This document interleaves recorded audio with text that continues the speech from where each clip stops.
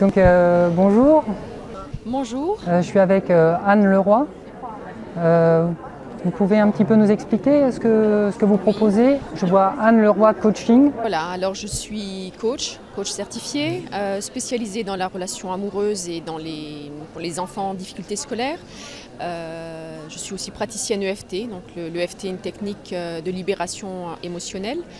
Euh, je suis installée à Aubernais. Alors j'accompagne euh, principalement les personnes qui ont des difficultés euh, dans leur couple ou dans leur vie amoureuse, donc difficultés à trouver le, bon partenaire, à, réussir leur vie sentimentale. Donc on travaille aussi bien en coaching avec un, objectif qui est fixé, où on voit dans quelle direction on veut aller. J'organise d'ailleurs régulièrement des stages sur cette thématique, hein, comment trouver son partenaire idéal et réussir euh, Mhm. la relation sentimentale.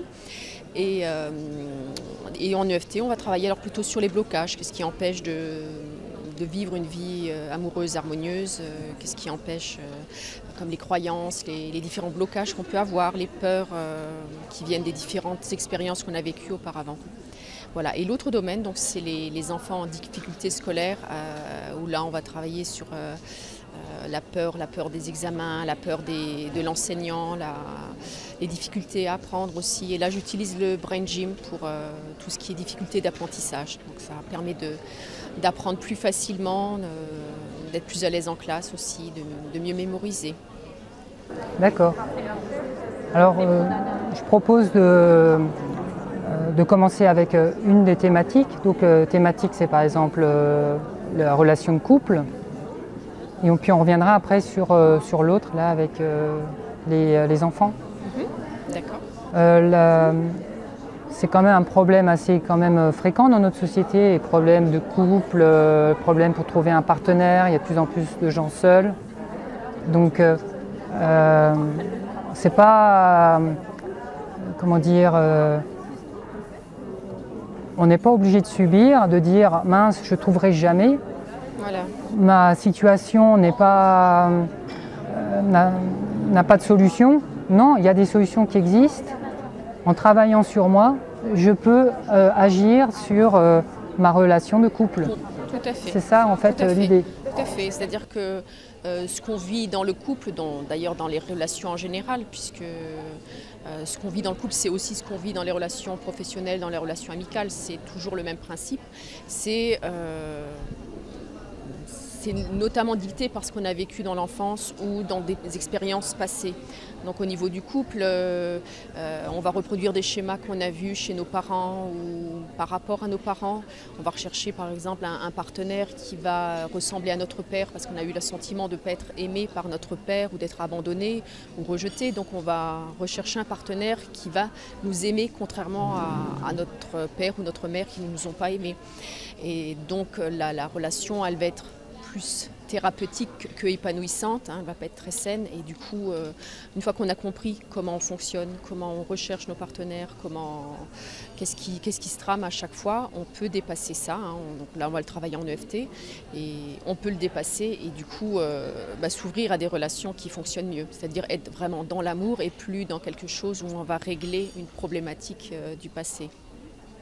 Voilà. Ou alors quand on a eu des, schémas répétitifs, hein, des, des, relations pas très épanouissantes mais qui se répètent, on tombe toujours sur le même type de partenaire. Donc là aussi, on travaille dessus pour comprendre qu'est-ce qui fait qu'on attire ce genre de partenaire et pas, et pas un autre et pourquoi, pourquoi on, revit toujours la même chose. Parce que tant qu'on n'a pas compris le sens d'une relation, bah, on nous resserre le même plat euh, jusqu'à ce qu'on ait compris et qu'on ait dépassé la problématique. Alors je vais être un peu cash, mais au lieu de dire ce mec c'est un salaud, en fait euh, ça nous responsabilise. C'est-à-dire qu'à chaque fois on, on revient à soi et on va se dire mais pourquoi j'attire ce, Mm. Voilà, ce c'est genre de ça. comportement? C'est toujours ça. Pourquoi est-ce que j'attire ce genre de salaud? Qu'est-ce que ça fait? Qu'est-ce que ça réveille en moi? Qu'est-ce que ça fait vibrer en moi? Qui ça me rappelle, rappelle? Quelle situation du passé ça me rappelle? Et on prend du coup la responsabilité de sa vie. On n'est plus euh, victime des, des partenaires qu'on peut rencontrer, mais on devient vraiment acteur de sa vie et de se dire mais si j'attire ce genre de partenaire, ce genre de salaud, qu'est-ce qui en moi euh, attire ce, ce genre de personne Voilà. Et une fois qu'on l'a dépassé, on peut, on peut s'épanouir. euh, Voilà, on s'ouvre alors à des relations qui sont euh, plus satisfaisantes, euh, qui sont sur l'amour. Voilà, qui sont vraiment basées sur l'amour et plus sur la dépendance ou l'attachement, hein, parce que souvent c'est, on est plus dans des relations de dépendance et d'attachement que d'amour réel. C'est pourquoi aussi, dès qu'on commence à travailler sur soi euh, dans cette thématique-là, souvent on, met fin à une relation euh, qui n'était pas très satisfaisante. Voilà, c'est souvent la conséquence, une fois qu'on se met en, route, de, voir une relation qui se termine. Mais c'est pour laisser la place à une autre qui sera euh, bien plus épanouissante. Donc c'est une bonne nouvelle pour les personnes qui ont des difficultés dans leur couple ou qui sont seules. Ouais. Et je dirais vraiment, ne baissez pas les bras. C'est vrai qu'on a tendance à dire, à, penser, il vaut mieux être seul que mal accompagné, mais bon, je pense qu'il vaut mieux être à deux, que c'est quelque chose de, vraiment très chouette, hein, qu'on soit un couple euh, hétérosexuel ou homosexuel, puisqu'il n'y a pas, d'obligation d'être forcément, de trouver le partenaire de l'autre sexe. Mais euh, voilà, une fois qu'on a dépassé ça, euh, et moi je dis que ça vaut le coup de, tenter cette expérience pour, pour être bien, parce qu'après il y a quand même de, belles choses à la clé quand on partage vraiment avec l'autre et dans une relation d'amour.